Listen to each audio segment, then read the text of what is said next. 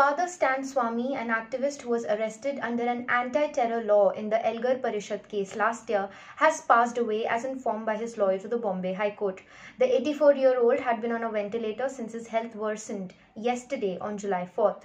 Last week, Stan Swamy had filed a fresh plea for bail in the High Court, challenging the stringent conditions for bail to an accused charged under the Unlawful Activities Prevention Act or the UAPA Act.